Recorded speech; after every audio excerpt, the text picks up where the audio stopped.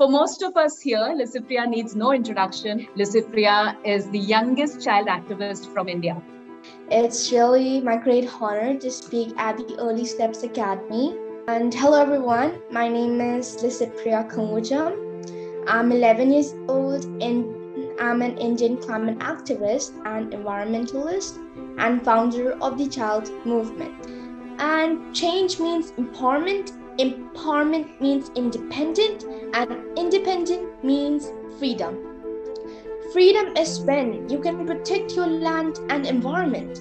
Freedom is when you can protect your children's future, culture, and health. Freedom is when you can read and write. Freedom is when you're out of hunger.